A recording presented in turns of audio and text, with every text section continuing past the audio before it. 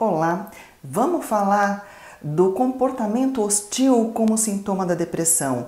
Eu acho que é muito difícil em algumas situações a pessoa entender e perceber a pessoa depressiva como é, tendo aqueles comportamentos como sendo um dos sintomas da depressão ou o que é dela mesmo.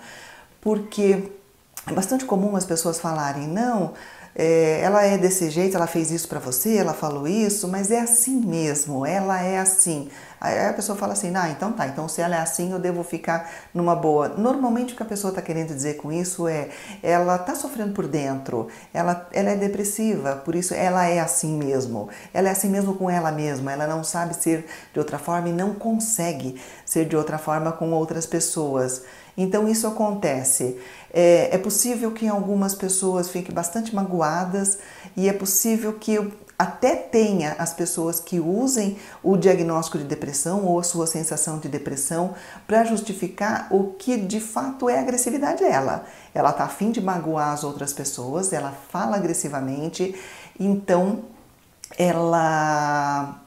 É, justifica e fala não, né? Eu sou depressiva, por isso que eu falei isso, né? Você não deve se magoar. Eu tenho o direito de ser hostil, falar absurdos, né? Falar desaforo, fazer coisas que te magoam, porque eu sou depressiva. É possível que tenha as pessoas que usem a depressão que não está causando esse comportamento para justificar e se sentir livre, né? Para magoar quem ela quiser. Mas de forma geral é, é possível sim que a depressão faça a pessoa tratar os outros como ela está tratando a ela mesma, né?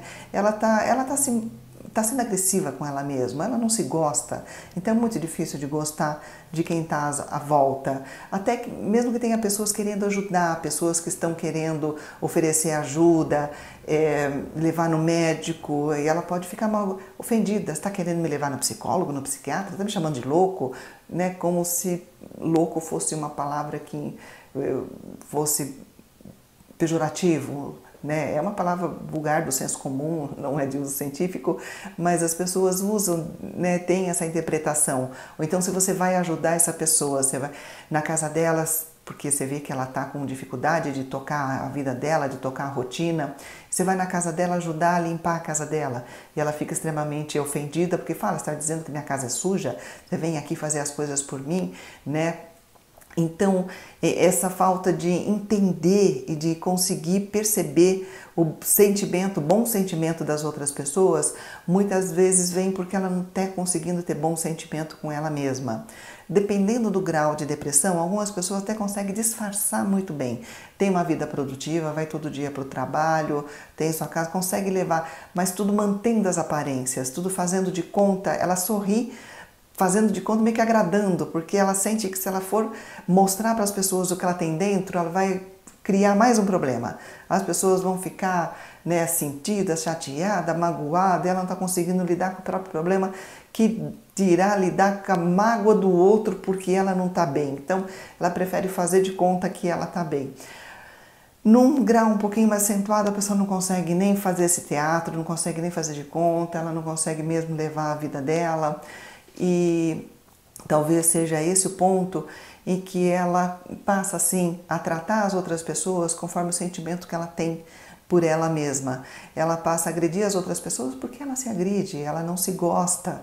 E manter as aparências já não é mais uma opção.